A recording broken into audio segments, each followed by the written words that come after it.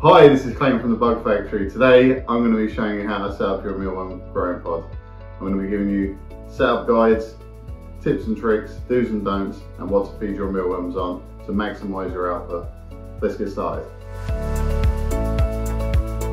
A little bit about me. I've been in the pet industry my whole life. I've sold wild bird food, poultry food, dog food, you name it. I've had pets ranging from reptiles to emus and chickens and dogs. So there's nothing I love more than pets and I'm really passionate about what I feed my pets and making sure that what I'm giving them is the best possible thing.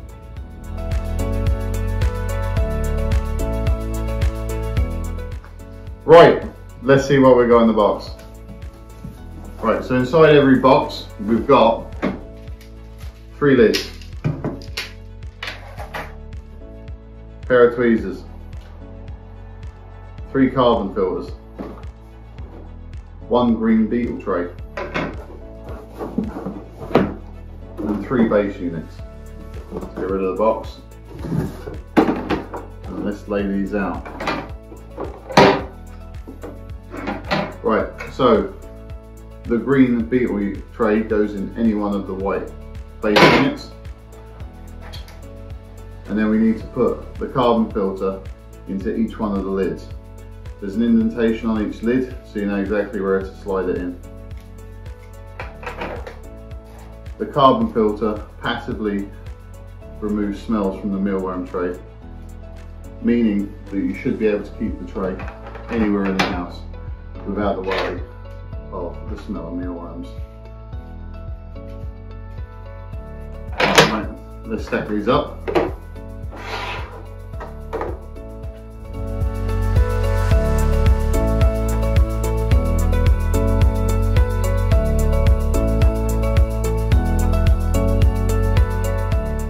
Product's out, we're going to need to put some insects in there. We need to populate the beetle tray with beetles because the beetles will breed with each other and lay eggs for mealworms. But getting hold of beetles can be difficult, so we're going to show you how to buy uh, take mealworms and turn them into beetles to populate your beetle tray. We recommend between 120 to 180 grams of mealworms. Uh, you're a starter colony, that's four to six ounces in imperial. What we need to do is take one of the trays, which doesn't have the beetle tray in it, and just put the mealworms into that tray.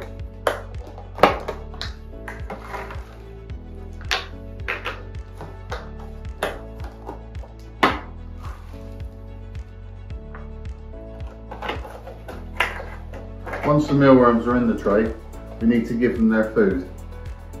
Now you have to give them a dry food and you need to give them something for, for moisture. So in terms of dry food, we recommend you give them wheat, bran, oats, or in our case we have a, a specially formulated diet uh, which increases their pupation but also their biomass. And then for the moisture, all you need to do is use some kind of fruit and veg waste. Now this can be cucumber, berries, potato. Uh, in this case, we're just using a few pieces of cucumber. Now it's important to top this up every couple of days, but also you need, don't need to use a lot because it's just for their water content. Once you've done that, once they're fed, put the lid back on and wait for them to start to pupate.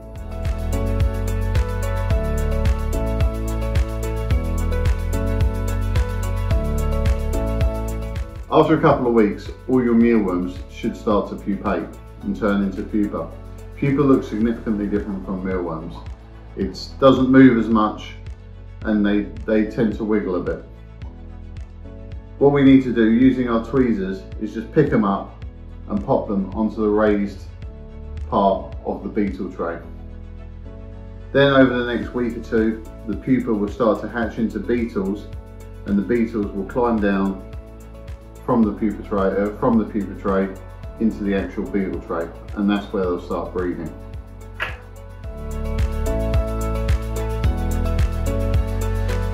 After only a couple of weeks, you should start to notice that your tray looks something like this.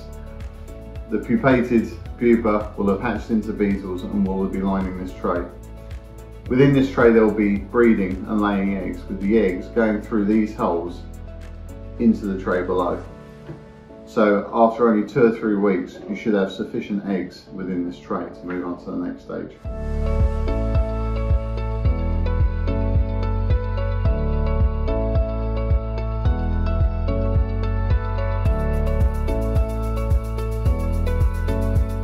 Right, so after two or three weeks, the beetle tray will be fully populated. They'll have been breeding for a few weeks.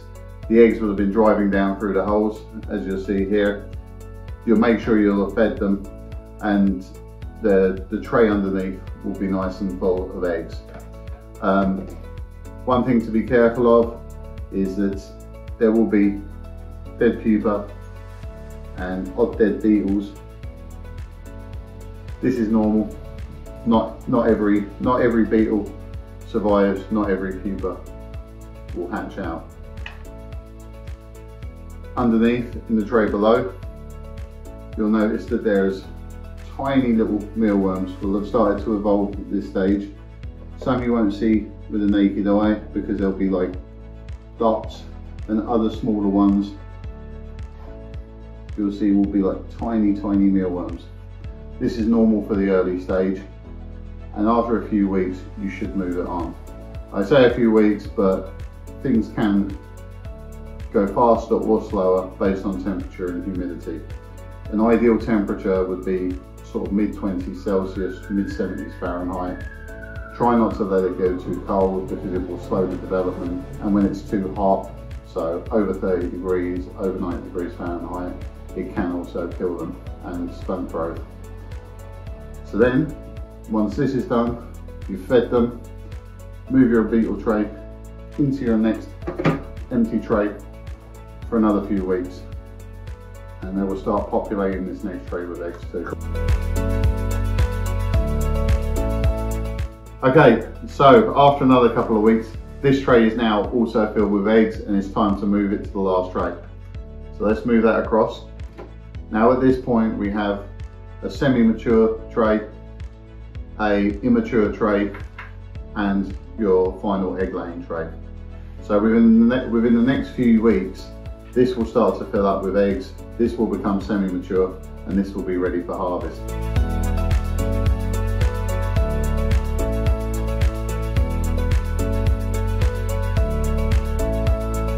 One of the really big benefits of our pods is that you can choose the mealworms based on the life stage of the mealworm that works best for you.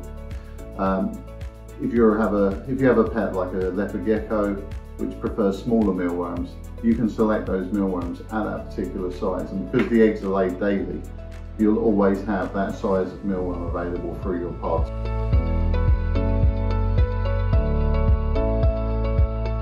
So now we have a fully mature tray of mealworms. You can tell it's fully mature because you'll notice some of the mealworms be starting to pupate. We want to transfer those pupa across to the beetle tray and that's actually a good thing because you will lose some beetles through death over time and so with each tray you want to try and move across a few dozen pupated mealworms just to replenish your beetle stock.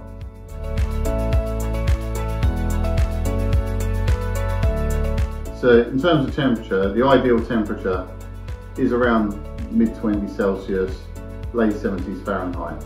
But room temperature is absolutely fine. Um, the only, if it gets too cold, they will go into hibernation. And if it gets too hot, it can kill them. So it's worth just keeping an eye just to make sure that you don't put them outside or if it's super hot outside, it's in an environment which is kept around room temperature.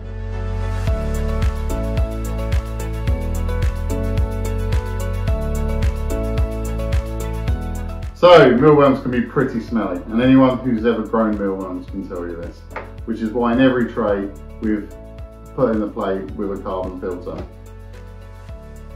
These carbon filters passively absorb the smells, and over time their pores will gradually become blocked up with different particles from the mealworm tray. Their life can be extended by just washing them under a warm, warm water tap once every month to six weeks just to extend the life. Eventually though, it will become less and less effective but we do sell replacement filters which you can buy either from our website or from one of our partners.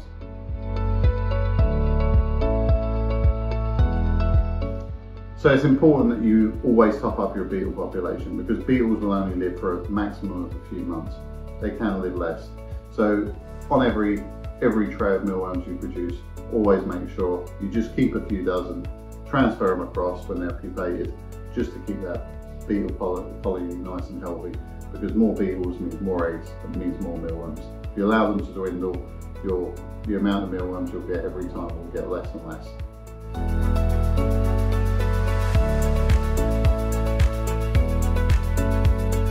So if you are going on holiday for a while and you will be away and you won't be able to feed them for a couple of weeks, it's okay. What you can do is you can put your mealworms into a container and place them into the fridge.